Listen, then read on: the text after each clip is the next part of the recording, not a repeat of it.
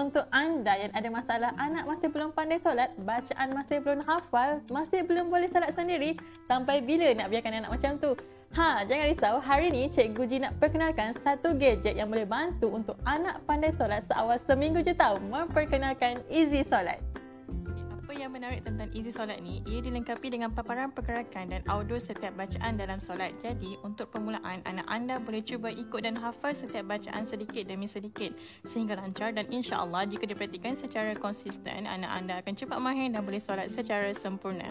Okey, berita baik untuk anda setiap pembelian Easy Solat ni anda layak untuk dapat harga special dan empat hadiah percuma.